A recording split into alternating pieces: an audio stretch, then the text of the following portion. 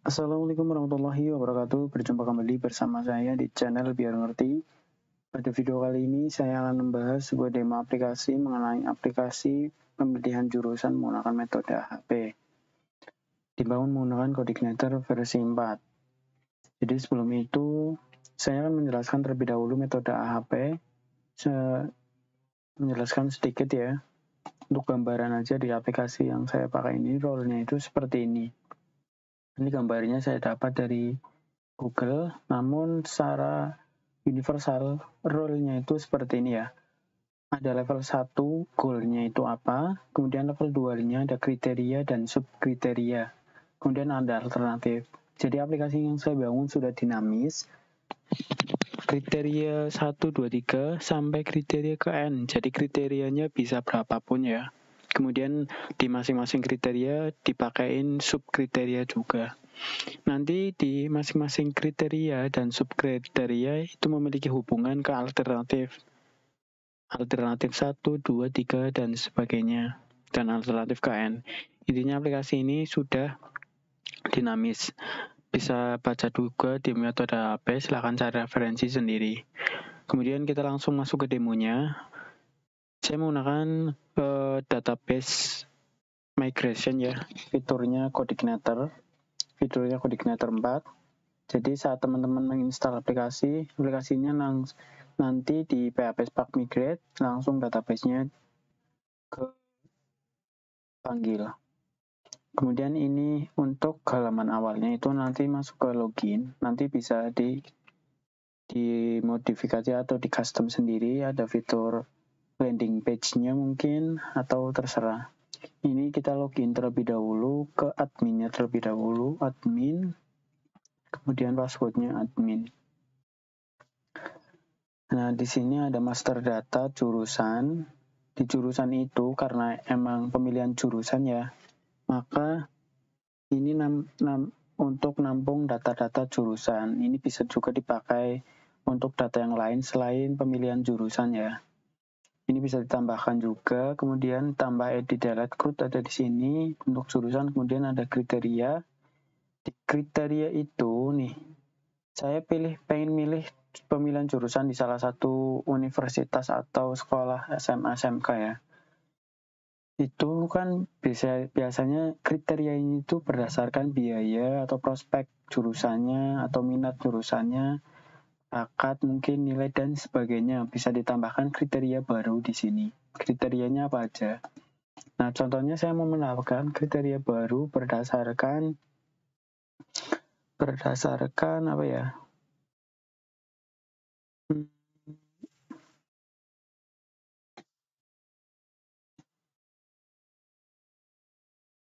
Prospek, minat ada ya. Sudah ada minat, berarti ini berdasarkan prestasi gitu aja. Prestasi jurusan. Ini ada nggak sih prestasi? Belum ada kan? Prestasi ju prestasi gitu ya.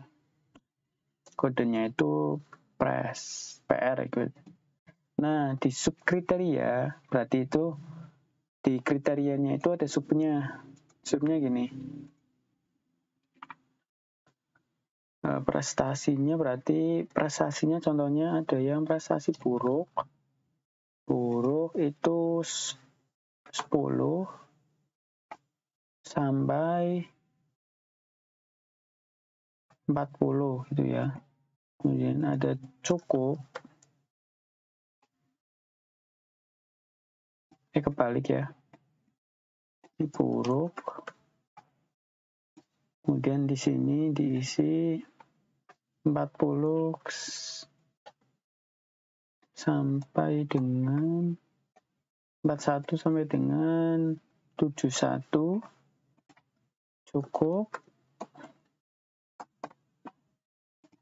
Dan isi lagi 71 sampai dengan 80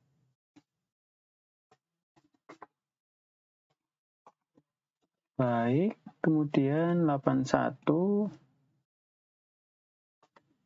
sampai 100 sangat baik gitu ya.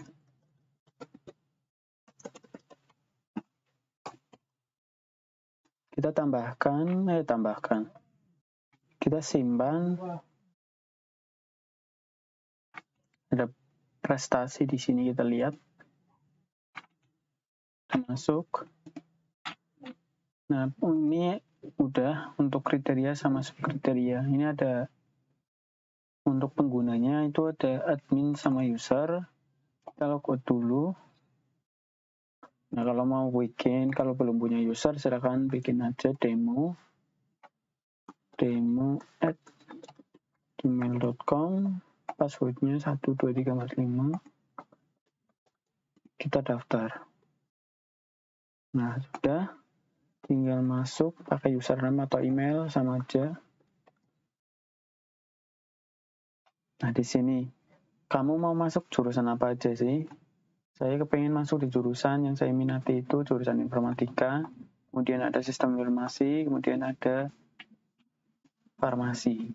Kemudian ini adalah tiga jurusan yang ingin saya masuki. Kemudian simpan, kemudian baru proses perhitungan klik aja hitung atau masuk ke sini? Nanti akan ke masuk ke hitungan.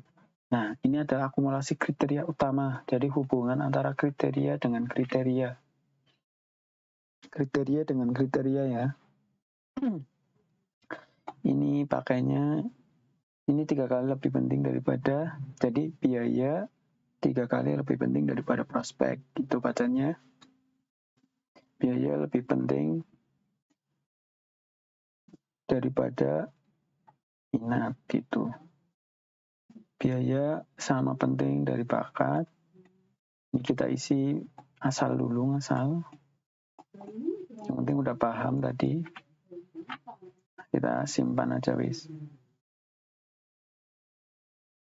Nah ini baru hubungan antara subkriteria biaya dengan kriteria. Eh maksudnya subkriteria dengan subkriteria dari kriteria biaya guys. Ini kita ngasal dulu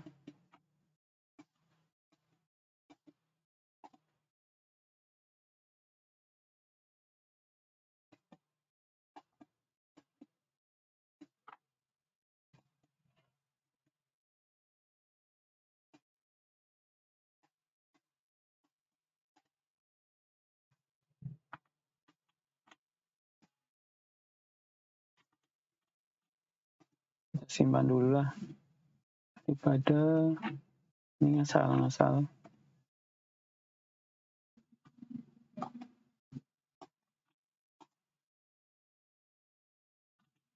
nah ini proses perhitungannya udah selesai. Ini ada kriteria utamanya itu hubungan antara biaya antara kriteria dengan kriteria ya. Hasil normalisasinya seperti ini nih Kemudian ini untuk subkriteria biaya, prospek. Jadi ini untuk subkriteria. Udah tinggal lihat di dashboard. Di dashboard ini tinggal masukkan nilai alternatifnya. Nilai alternatif ini minatnya berapa sih? Ini contohnya. Prospeknya 80. Ini dari kamunya ya. Sesuai pilihanmu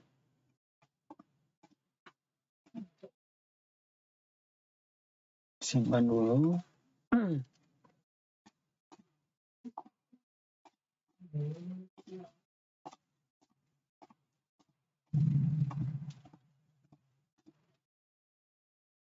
Udah kemudian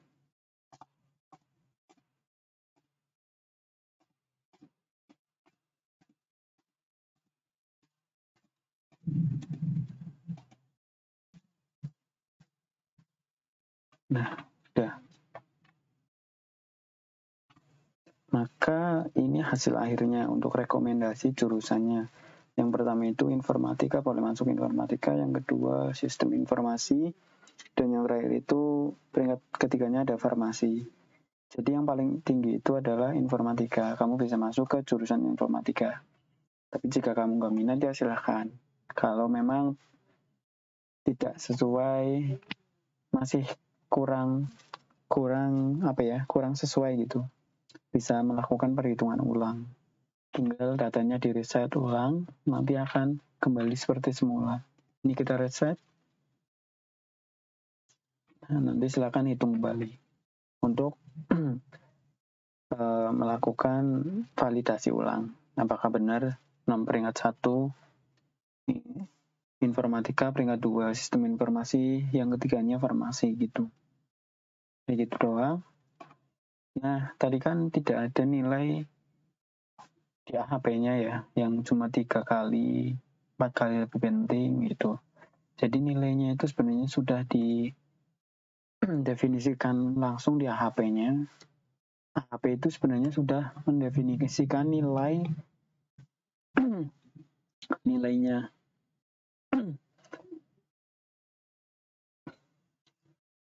letaknya itu nanti ada di library. Ini library-nya sebenarnya dibikin sendiri. Hmm, dan di base nah ini. Di random index ini nilainya. Nilai untuk nilai HP-nya kalau satu berarti 0,00 dua juga 0,00 nah, ini itu ya guys. Nah, kemudian kalau mau di custom juga bisa. Jika berminat dengan aplikasi ini silahkan kontak person yang ada di deskripsi video ini. Jika suka dengan channel ini silahkan tekan tombol like, comment, dan subscribe-nya. Apabila ada kesalahan mohon maaf. Assalamualaikum warahmatullahi wabarakatuh